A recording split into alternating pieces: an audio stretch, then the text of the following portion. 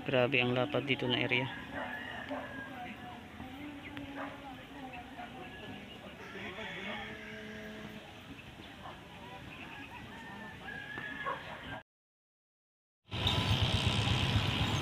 Sa magandang hapon sa inyong lahat mga katrip. Ah, dito tayo ngayon sa may Davao Cemetery. Dito sa may Warles at Orchard. Ah, dito naman ay dadalawin ko yung libing ng aking lulo, lola at kapatid ni mama. So saan nga ba tayo papunta pagkatapos natin namatay? So yan ang content natin ngayon. Ah, samahan niyo po ako pagdalaw dito sa cemetery.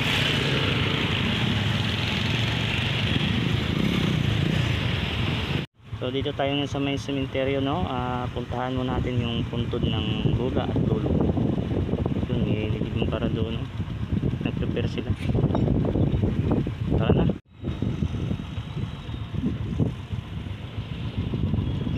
May dumala na rin dito. So, kasi malapit na ang undas. Maraming namang taong dadalaw dito.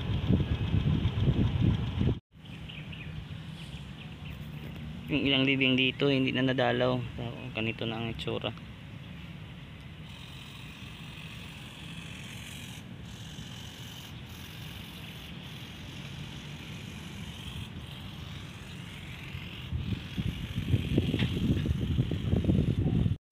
si Lola Anyura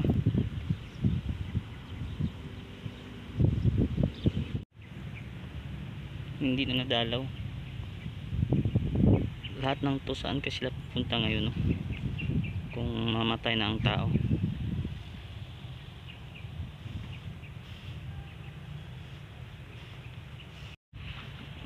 May bago ring nilibing dito. Siguro kanina o kahapon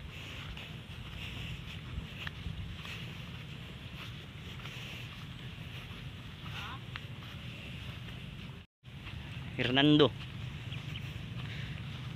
tinulungan tayo ni Angkol saan yung libing ni Lula at Lolo.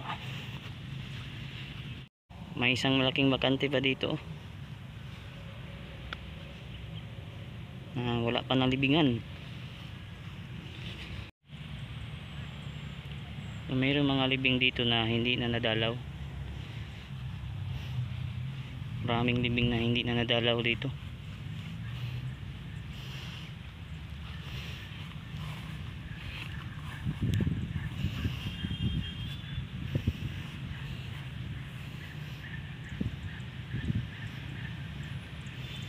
halos di na makita ang mga pangalan no?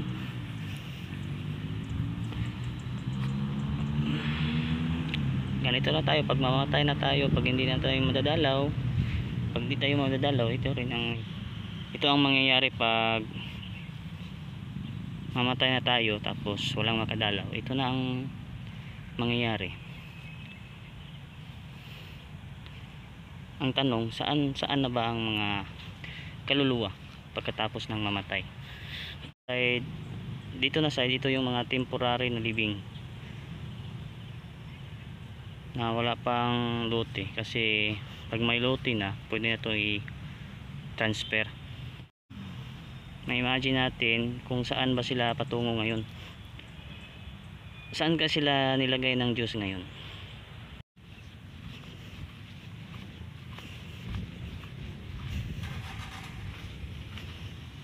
bagong libing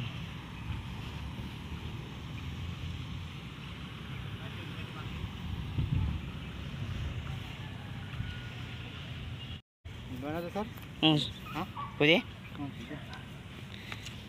eh bagnot na ang lubong sa lula o kung anti isapaw rin sila nahinluan na nahinluan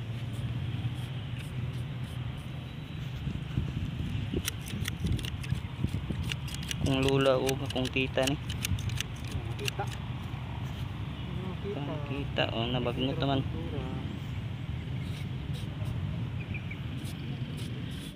hanap ko na yung libing ng lola ko at ante kang lolo na naman nasan yun? Dito lang yun.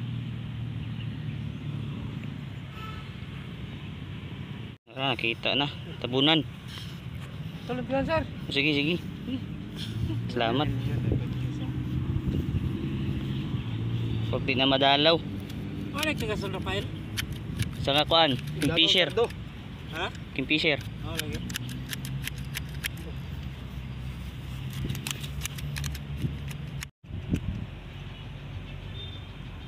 Kita ng lubong sa kong lulog, lula. Lula o akong ante. Dito ka lolo. Kang lolo.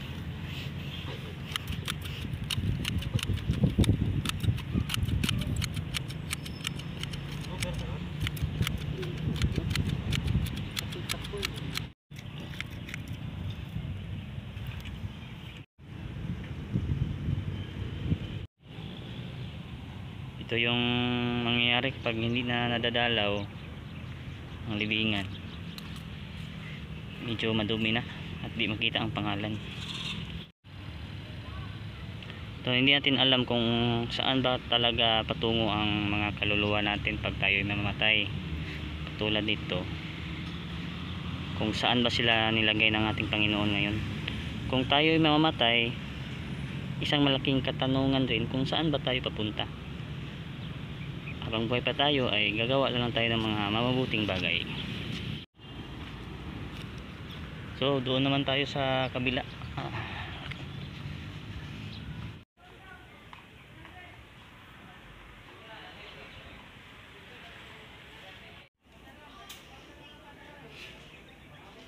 So ito yung mga dating pang namatay na nasiparate na yung mga buto nila.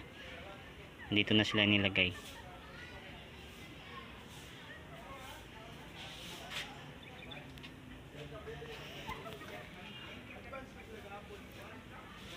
Nineteen fifty one pa to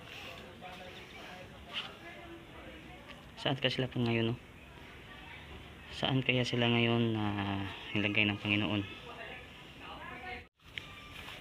dito naman ay merong isang libing na room for rent no?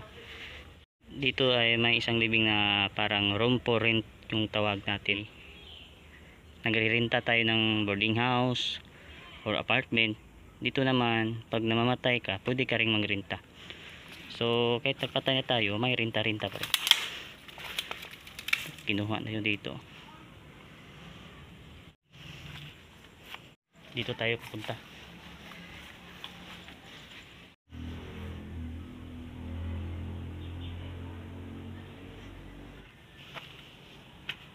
Dito na parang abandon na siya.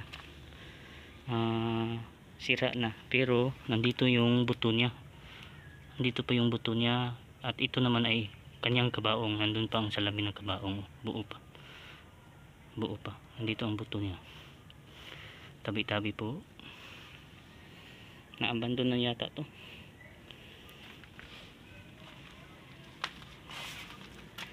Nineteen 88 pa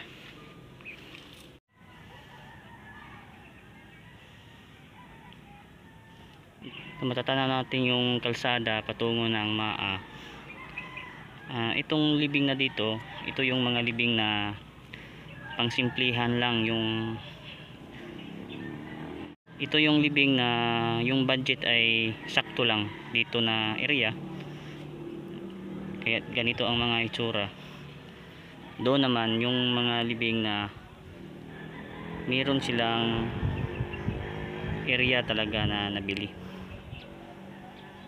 magsiparit pa rin di ba? Kung buhay tayo. May mayaman meron rin hindi.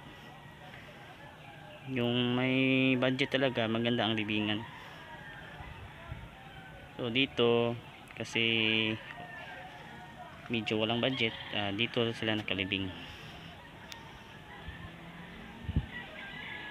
Dito rin may abandon na na libing open na yung libing nila tabi tabi po. Yung nakikita nyo na may puti yan yung kabaong. Yan kabaong yan. Naging basura na. Dito rin may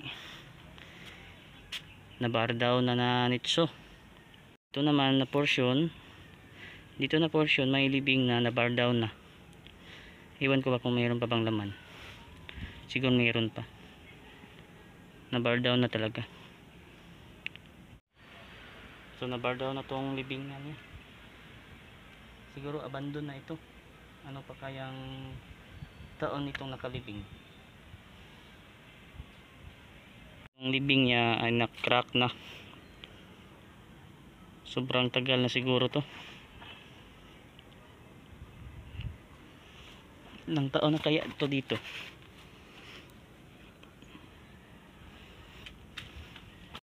Ito naman, ito yung tinatawag na room for rent. Kung tayo ay nabubuhay pa, nagre-renta tayo ng boarding house, kung tayo ay walang bahay. Dito naman, kung wala ka pang pwesto sa libingan mo, ito yung tinatawag na renta.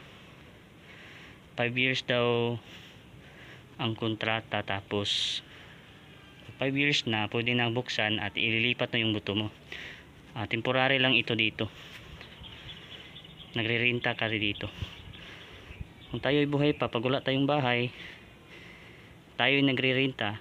Dito naman, kung wala tayong wala pa tayong budget para sa libingan natin na pwesto, dito rin. Magre-renta pa rin.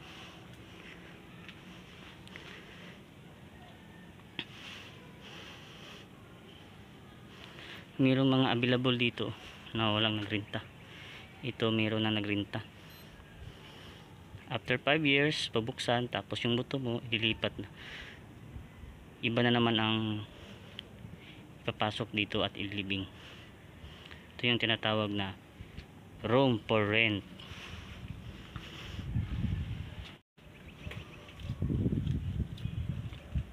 Ito yung tinatawag na room for rent puntahan natin yung bibig ng parents ni former President Rodrigo Rua Duterte. Dito yun.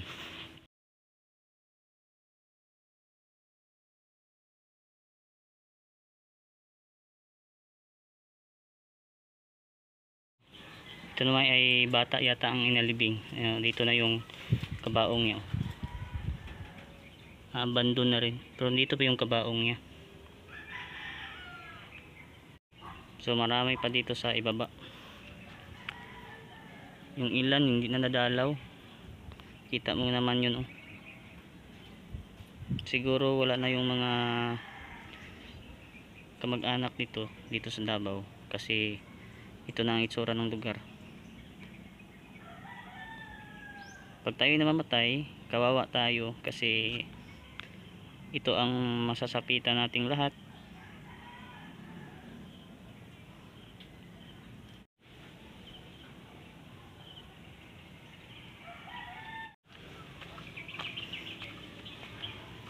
Madami pala dito no. Yung ilan hindi na nada- nadalaw. Ito yung pinakababa dito na area. May mga libing rin dito. Wala dito.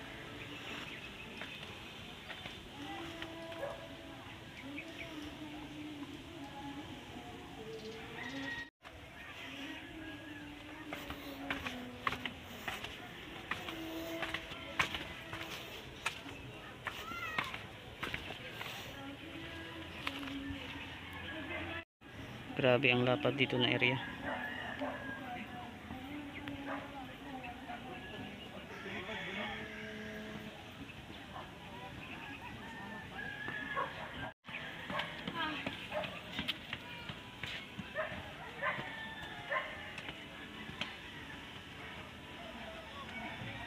Si pare talaga pag namamatay na no, doon yung may mga magandang lote.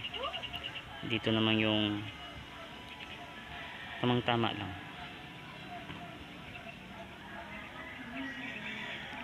Tingnan nyo to sa dami ng mga namatay saan ka sila pupunta ngayon?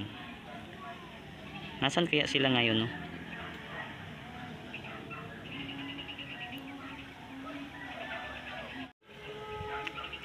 Yun ang dami nila. Ito yung kita natin dito. Saan kaya sila pupunta ngayon? Tara nakakahingal dito na area. Huh.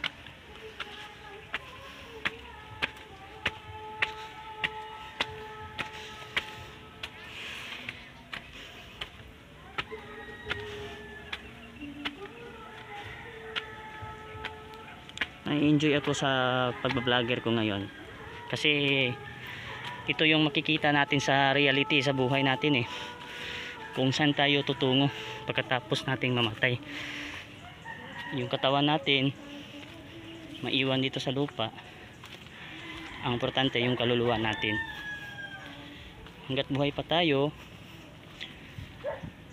yung pride natin huwag natin masyadong pataasan. Hingi tayo ng tawad sa Panginoon. Hingi rin tayo ng tawad sa Panginoon kasi tayo isang makasalanang tao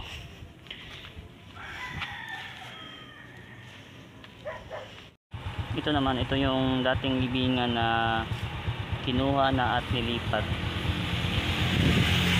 Parang may kabaong pa yata sa laman. Abandon na abandon